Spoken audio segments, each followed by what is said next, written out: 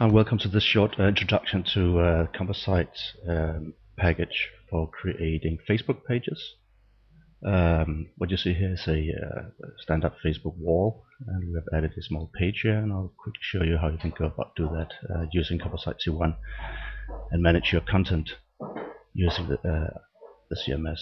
So this is right now the content of the page. Now to get started, um, you can go to uh, your system tab and if you go to packages available packages then below Composite community you'll find a package called uh, Facebook pages. It has a read more, read more button. If you click that you'll get to this place and you'll be able to see how you uh, complete the setup. There's a step-by-step -step guide here. As you can see it's it's not that many steps First off, you need to install the plugin, and what the plugin will do is it will make a page type inside the CMS, which will look good on Facebook. And then there is a guide for how you can set up Facebook um, to um, to do the, uh, the rendering of your page. This demo I've already uh, been doing the the Facebook setup. Uh, I have my page in place.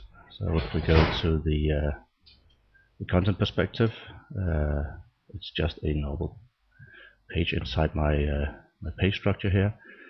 The main difference is I've uh, asked for the Facebook page type and this ensures that I'll get a, a pretty clean layout uh, so it looks good inside Facebook.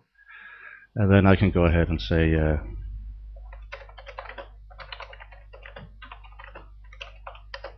make some content changes and if I go ahead and save and publish this page, go to my Facebook page and do a refresh, uh, you can see that you've updated your Facebook page.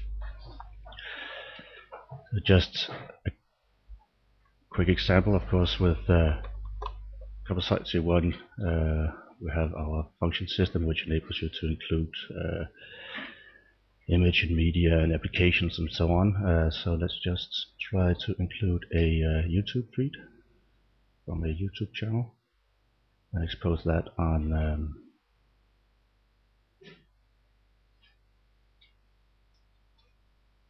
let's see. Let's take the uh, now let's take the feed.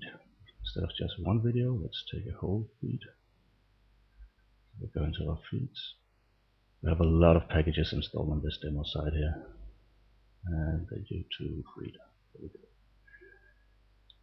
Well, this uh, particular function takes a channel name. Let's take our own channel. Just go and work with the list options, how it should look.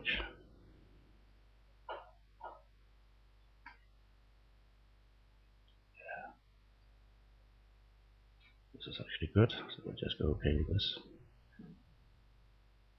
Quickly preview and get a feeling of how the page will look once it's inside Facebook. This is looking good, so we'll go ahead and save this. Publish it. If we go back to Facebook and do a refresh, well, we have a video feed uh, from our own YouTube channel embedded on our Facebook. And of course, anything you can put into Composite C1, which is just about everything, can, can, can go in here.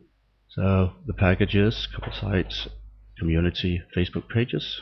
It's free open source. Enjoy.